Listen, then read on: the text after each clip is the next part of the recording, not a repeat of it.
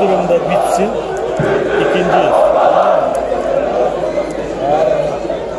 Şöyle biterse ikinciyiz. Tarsus berabere alır.